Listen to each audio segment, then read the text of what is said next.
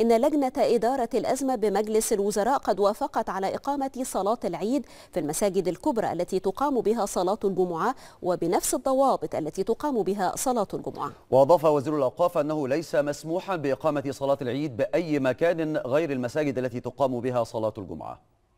فإنني أؤكد على إقامة صلاة العيد بجميع المساجد التي تقام بها الجمعة فقط. دون إقامتها في الساحات مع تأكيدنا على عدم السماح بإقامة صلاة العيد لا في الزوايا